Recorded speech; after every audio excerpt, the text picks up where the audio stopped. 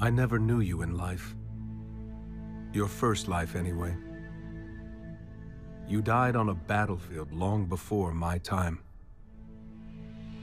Something special brought us together.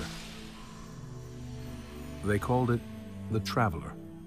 And when it arrived, it changed your world forever. It was a golden age.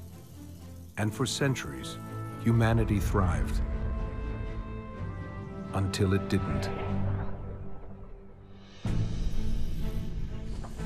An ancient enemy pursued the Traveler across the universe.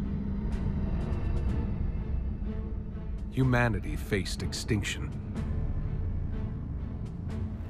But the Traveler made a choice. Its sacrifice destroyed its ancient enemy and brought life to the ghosts. I am a ghost. More importantly, I'm your ghost. And you are one of the travelers chosen.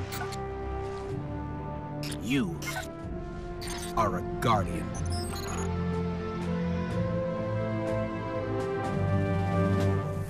This is your destiny.